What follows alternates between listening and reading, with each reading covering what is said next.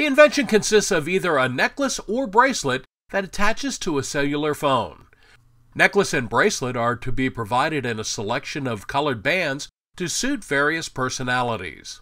Similar to a set of keys, the device would hang for easy access, yet the phone would be secured inside a plastic casing and out of harm's way.